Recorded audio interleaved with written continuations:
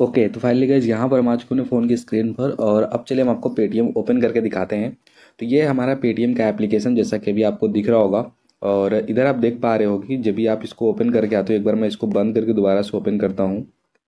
तो ओपन करके आते हो तो आपके सामने कुछ इस तरीके से एक इंटरफेस खुल के आता है और यहाँ पर एक अपडेट इस तरीके से ऑटोमेटिक ओपन होकर आता है। यहाँ पर आप देख पा रहे हैं इंपॉर्टेंट यू अपडेट उसके बाद यहाँ पर क्या लिखा हुआ है? Now use Paytm with a new U P I I D कहने का मतलब ये है कि अभी आप अपने पेटीएम को एक नए यू पी आई के साथ ऐड करिए या फिर मतलब यहाँ पर एक नए यू पी आई के साथ लिंक करिए। यहाँ पर आप देख पा रहे हैं इसके लास्ट का एट द रेट क्या है? P T Y E S यहाँ पर आप देख पा रहे हैं, यानी कि पेटीएम और यस बैंक की तरफ़ से मिलकर आपको एक नया यू पी आई दिया गया है। आपको मैं बता दूँ कि एक शू आया है? तो आपको यहाँ पर पता ही होगा पेटीएम में काफ़ी सारे प्रॉब्लम्स थे बैन चल रहा था। तो इसी वजह से इस चीज़ को सॉल्व करने के लिए यहाँ पर पेटीएम ने नया यू पी आई लॉन्च किया है, जो कि आपके पेमेंट फेल्योर को रिड्यूस करेगा। अगर आप इसको अपडेट कर लेते तो यहाँ पर आप देख पा रहे हैं कि आपका जो पेमेंट फेल्ड वाला प्रॉब्लम है, जो अभी चल रहा था बहुत सारे लोगों में, जब से पेटीएम में बैन वाला प्रॉब्लम आया था तो वो हट जाएगा। और आप सभी लोगों को ये हंड्रेड परसेंट जो है यू पी एक्टिवेट करना चाहिए, क्योंकि अभी पेटीएम का नया जो पार्टनर है, वो है येस बैंक इधर आप देख पा रहे हो और उसी के साथ मिलकर ये आपके लिए यू पी बनाया गया है। अब मैं आपको बता दूँ कि अगर आपका होम स्क्रीन खोलने पर इस तरीके से नहीं आता है तो आपको ये ऑप्शन कहाँ से मिलेगा? तो यहाँ पर मैं आपको बता दूँ कि ये ऑप्शन आपको पाने के लिए जस्ट ऊपर ये जो create new U P I लिखा है, आपको इस पर क्लिक कर लेना होगा। यहाँ पर ये जो लिखा हुआ है क्रिएट न्यू पी आई और इस पर क्लिक करेंगे, वो चीज़ आपका जो है ओपन होकर आ जाएगा, जैसा कि अभी आप देख पा रहे हैं, जो कि मैंने एप्लीकेशन बंद करके ओपन किया था तो ऐसा ही आया है। प्लस आप उधर भी क्लिक करके ये ऑप्शन पा सकते हैं। तो चलिए, अब इसको एक्टिवेट करने के लिए सिंपल सा क्या करना होगा? इधर जो एक्टिवेट नाउ का बटन दिख रहा है, आपको यहाँ पर क्लिक करना है, ठीक है? तो चलिए, हम भी इधर क्लिक कर लेते हैं। अब जैसे इधर आप क्लिक करेंगे, आपके सामने आप देख पा रहे हैं मोबाइल नंबर वेरीफाई इस तरीके से होगा आपका जो वेरिफिकेशन मोबाइल नंबर का। तो उसके लिए आपको क्या करना है प्रोसीड टू सेंड एसएमएस पर क्लिक कर देना होगा, ठीक है? तो चलिए, यहाँ पर हम प्रोसीड टू सेंड एसएमएस पे क्लिक करते हैं, उसके बाद यहाँ पर ओके कर देंगे आपके अपने लोकेशन को ऑन करने के लिए। और यहाँ पर थोड़ा सा वेट करेंगे। हमारे मोबाइल नंबर से एक एसएमएस को ऑटोमेटिक भेजा जाएगा और हमारा मोबाइल नंबर वेरीफाई किया जाएगा। तो इधर आप देख पा रहे हो कि ये जो कुछ इस तरीके से आपका पूरा प्रोसेस होगा और यहाँ पर आप देख पा रहे हो मोबाइल वेरीफाई मोबाइल नंबर यहाँ पर कुछ इस तरीके से ऑप्शन आ रहा है और यहाँ पर एक बार हमारा वेरिफिकेशन फेल हो चुका है। हम दोबारा से क्लिक करते हैं। रीट्राई विथ एसएमएस पर क्लिक करते हैं और ये मैसेज आपका भेजा जाएगा और तुरंत ये वेरीफाइड हो जाता है। और अभी आप देख पा रहे हो दूसरी बार में यहाँ पर हमारा जो यू पी है वो सक्सेसफुली यहाँ पर वेरीफाई हो चुका है। एक्टिवेशन सक्सेसफुली हो चुका है। इधर आप देख पा रहे होंगे। ऊपर से हमको मैसेज भी आ चुका है। अभी मैं आपको वो भी दिखाऊँगा। कि यहाँ पर क्या मैसेज आया और यहाँ पर आप देखिए कि जो हमारा एक्टिवेशन है वो सक्सेसफुली डन हो चुका है। अभी मैं आपको डिटेल में दिखाता हूँ कि यू पी आई कहाँ कहाँ है और जो पुरानी यू पी आई है उसका क्या होगा। तो वीडियो में थोड़ा सा बने रहिए, एक दो मिनट की और बात रहेगी बट आपको फिर एकदम फुल कंप्लीट जानकारी मिल जाएगी। तो यहाँ पर जो आपका यूपीआई है वो सक्सेसफुली एक्टिवेट हो चुका है। यहाँ पर आप फिर से क्लिक करके देख सकते हैं create new U P I पे। तो इधर आप देख पा रहे हैं कि एक आपने एक्टिवेट कर लिया था, जो कि था यस बैंक का। अभी आप देख पा रहे हैं grab your additional U P जो कि अभी आपको दिया जा रहा है एचडीएफसी बैंक की तरफ़ से। तो आप इसको भी ऑन कर लीजिए। ठीक है? तो सिंपल सा आपको यहाँ दोबारा से एक्टिवेट नाउ पर क्लिक करना है। दोबारा से आपका जो मोबाइल नंबर है, वो यहाँ पर वेरीफाई करने के लिए प्रोसीड टू सेंड एस पे क्लिक करिए।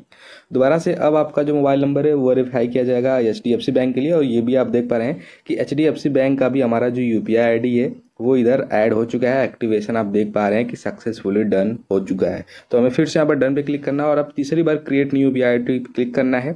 और अभी आप देख पा रहे कि थर्ड टाइम हमको यहाँ पर ऑप्शन दिया जा रहा है एक्सिस बैंक की तरफ़ से।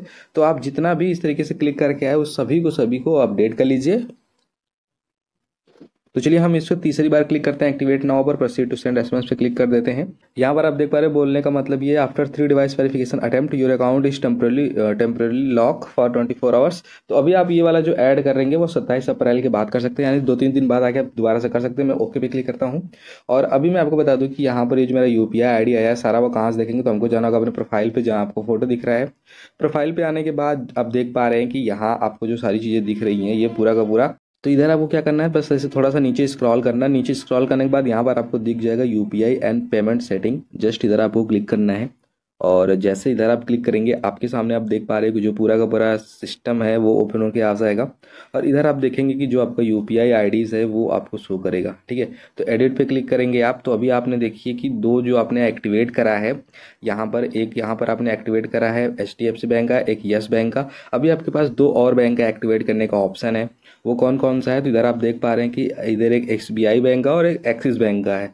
तो अगर आप इन सभी को भी एक्टिवेट कर लेते हो तो आपका जो पेमेंट फेल्ड का चांस है, वो एकदम ख़त्म हो जाएगा।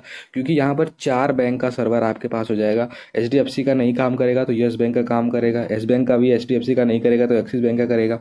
एक्सिस का नहीं काम करेगा एसबीआई का करेगा। एसबीआई का नहीं करेगा तो इन तीनों में से किसी न किसी करेगा। यानी कि टोटल चार हो जाएगा प्लस एक पेटीएम का अपना खुद का। टोटल यहाँ पर पाँच यू पी आप देख पा रहे आपके पास हो जाएगा। और इन पाँचों में से आप कोई सा भी इंटर करेंगे और आपका जो पेमेंट फेलियर वाला प्रॉब्लम है, वो हंड्रेड परसेंट सॉल्व हो जाएगा। और अगर आपको ये प्रॉब्लम हो कि हम क्यों मल्टीपल यूपीआई यूज़ करें तो इधर आप देख पा रहे हैं। यहाँ आपके सामने ऑप्शन पूरा खुल के आ रहा है कि कोई भी केस होगा जिसमें पेमेंट फेल होने का चांस है। सर्वर डाउन इधर आप देखिए। सर्वर डाउन है, मान लीजिए किसी एक पर्टिकुलर यू की, जैसे इस पेटीएम वाले की तो अगर आप सब यू पी आई एक्टिवेट किए रहेंगे तो यहाँ पर आपका जो काम है, वो आसानी से हो जाएगा। बाकी आपको एक्टिवेट करने के लिए जस्ट एक्टिवेट करेंगे। अभी हमने तीन एक्टिवेट कर लिया इस वजह से यहाँ पर हमारा एक्टिवेट नहीं होगा, क्योंकि हमारी लिमिट जो है, वो रीस्ट हो चुकी है ट्वेंटी फोर आवर्स के लिए। तो यहाँ पर हम ट्वेंटी सेवन के बाद यानी एक से दो दिन बाद आके फिर से यहाँ पर एक्टिवेट कर लेंगे।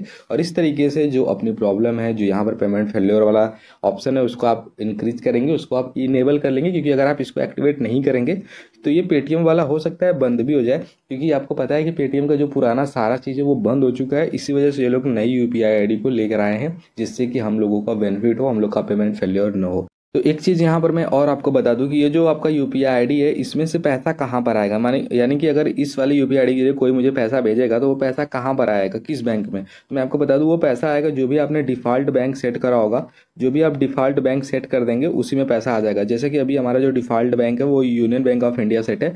तो अगर कोई भी इन यू पी आई पे पैसा भेजता है, इनमें इनमें किसी पर भी तो हमारे यूनियन बैंक में आएगा। अगर मैं यहाँ पर आई बैंक को डिफ़ॉल्ट बना दूँगा, यहाँ पर क्लिक करके इस तरीके से आप देख पा रहे हैं ऑप्शन यहाँ पर सेट एज डिफ़ॉल्ट इस पर क्लिक कर दूँगा। तो फिर मेरा उसमें पैसा आने लगेगा आई बैंक में। बाकी अभी हमारा जो डिफ़ॉल्ट बैंक है, अभी आप देख पा रहे हो कि default bank to receive money union bank है।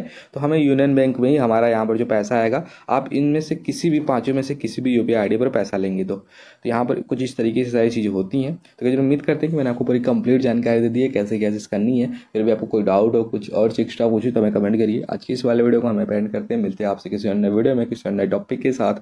तब तक के लिए बाय थैंक यू